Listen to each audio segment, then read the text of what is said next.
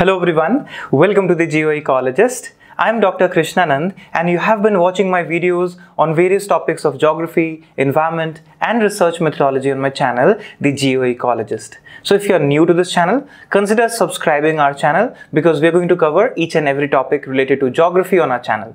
Now in today's session on regional geography, we are going to learn about a very interesting concept related to equity and efficiency. Many people talk about that what is best for regional development, sustainable development. Should we follow the principles of equity or should we follow the principles of efficiency? How is this trade-off between equity and efficiency is what we are going to discuss today. But before we go ahead, don't forget to subscribe to our channel and do share the videos with others as well.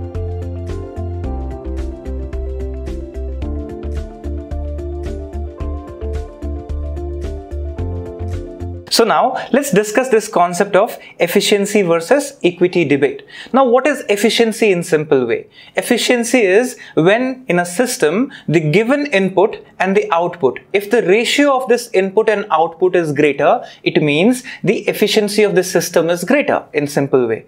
In economy, when productivity is greater with minimal factors of production, land, labor, technology and inputs, then it is supposed to be a efficient economy. It means it's talking about allocation of resources and also how much resources do we generate. But at the same time, when we say equity, it's about distribution of these resources on the basis of fairness. So when we say how fair are we, how equitable are we in terms of the allocation and distribution of resources? Have we made it accessible to everyone? Have we made it affordable to everyone? And also, is it available to everyone? Then it is understood in terms of the principles of equity. So if you observe carefully here in this particular diagram, the three major pillars of sustainable development is equity, economy and ecology. So taking all these three pillars together, we talk about efficiency and equity, that which pillar is more important and how they play role in sustainable development of a region. That's where regional planning and development is concerned. So if you observe, equity ensures the interests of distributive justice right? Fairness that we say. In terms of ecology it's important that we talk about the ecological principle where human and nature interaction is balanced. And in terms of economy we talk about wealth of the nations sufficiency and efficiency. So when all these three things are put together then we derive the concept of sustainable regional development. So if you observe carefully efficiency and equity in economy. Now remember efficiency here if you observe is defined in two ways. One is called technical efficiency. So what is this technical efficiency all about? It is the production being done at a lower input cost right that is what it says technical efficiency of the system or economic system and allocative efficiency is when the resources are being used to make products that people want so is it in demand right? So if you're making a product which is in demand and it's suiting the demand of almost everyone in the system, then it is supposed to be allocatively efficient, right? This is about economics. But if you talk about equity, when we say equity, remember it's about how fair is this distribution of products between different members of society. And this is measured in two ways. What are the two ways? Now, horizontal equity and vertical equity. So what is this horizontal and vertical? Look here. No discrimination between people whose economic characteristics and performance are equal. So first is no discrimination principle and also then different treatment of different people in order to reduce differences between the people. It means gap between rich and poor should be reduced. So vertical integration not just horizontal integration but also vertical integration of the society through equity principle. This is in terms of economy allocation of resources in all fairness. Now if you understand there are certain theories of equity as well. So let's look into this. The first theory is utilitarian theory of equity. Now this is a social justice theory that states that equality and equity is equal right? Where end state that is the resultant the end state equity is where situation everyone gets equal amount equal share and also there is equal benefit sharing. Now if you observe there is another principle of egalitarian theory of equity. Now this theory is a little different. It doesn't talk about end state. It talks about the process that means what? That it is achieved when people have same opportunities to obtain even if the outcomes are unequal. So even if outcomes are unequal but we try to distribute it in all fairness. This is making society more egalitarian right? So if you observe carefully equity may apply to public health in several ways. For example like equal health outcomes equal access for patients equal need and equal use of healthcare for equal need very important and equal expenditure resources of care for equal need equal costs to the payer and equal need all these aspects if you observe carefully are talking about the equity in terms of egalitarian principle. So if you observe this common diagram, whenever we talk about efficiency, equity, equality, you observe this is equality. What we take is everyone is given the same so that they can stand at same level. But even if they stand at the same level, can you see they cannot see what is happening outside?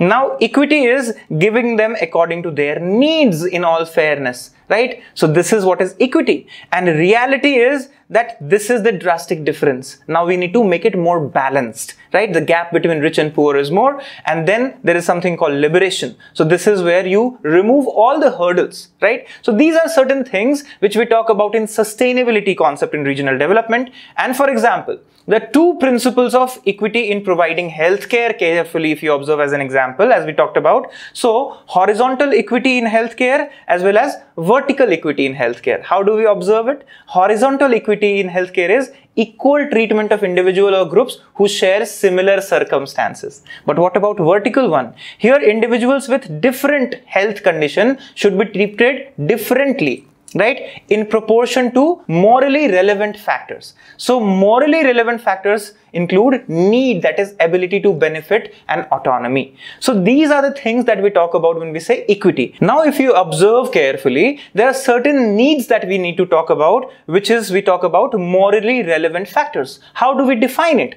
So gender socio-economic status income education ethnicity disability then we say location nationality. All these things are really very when we talk about equity in terms of vertical equity. So what do we conclude in simplification? Remember, efficiency generally relates to how well an economy allocates scarce resources to meet the needs and wants of people, consumers. And efficiency means that all goods or services are allocated to someone. No one is left over right? But it does not talk about how, in what manner, who gets how much. The fairness is not talked about, right? Everybody should get is efficiency. But how much everybody should get, in what ways it should be given, is something related to equity. So equity concerns the distribution of resources and in terms of social justice and fairness principle. So if you observe carefully, in order to ensure equitable allocation, what is important?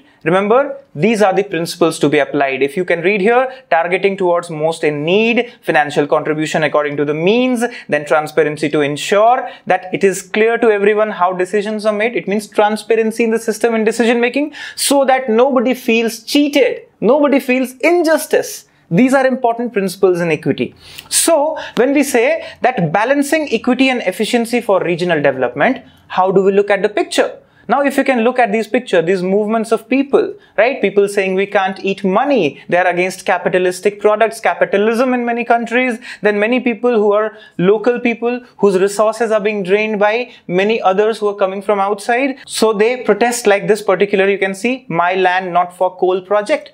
So you have seen these kind of debates around the society and it still exists. And very much importantly, that who should get the resources and its benefits. So government and policymakers often face this trade-off between efficiency and equity as increasing equity means giving equitable resources sometimes may reduce the efficiency of the system, isn't it? So what happens? Many times this relationship is debated that what should be the trade-off? How should we balance? We also need to progress. We also need to development at the same time keeping in balance the equity, right? So trade-off between equity and efficiency can be explained with environmental policies of the government if you observe carefully. So if you are saying environmental policy, who's at the receiving end? The local people whose land is being taken off for some projects isn't it? So who gets most out of exploiting these natural resources? People who are sitting at the top right? And who are exploited, who are at the bottom. So then what's the government role? Government needs to balance it off by providing them the quality of life, ensuring education, health facilities and other amenities, right? So this is what we talk about that in environmental policy, you can carefully observe that how efficiency and equity is balanced or not balanced. So imbalances in regional development can be observed through this debate that is efficiency and equity debate. So projects undertaken would have adverse effect on local people. There are many agitations as we talked about across the world, across India, and you may have seen in the newspapers as well. So government programs and projects would have multiple objectives in the larger interest of the nation. Take an example of hydropower project anywhere in Himalayan region in India. So you know that how it impacts the tunneling projects and landslides that hit. But government also looks into the requirement of electricity right? So one hand you have to give electricity to everyone. You need to be an efficient system. But at the same time, you need to look into that how local resources of a particular community are being exploited or the environment is being degraded at the same time. So that is where the trade-off comes. The balanced approach needs to be taken care based on social justice and also economic efficiency and ecological efficiency for sustainable regional development that we say. So now, when we have discussed in details about the efficiency and equity debate, in the sessions to come, we'll be also talking more about measuring various aspects of development. And also, if you have not joined our channel and you have not taken the membership, do take the membership and the best advantages that you will be given replies to your queries in the comment section. So all the best wishes, keep learning, keep watching, keep sharing.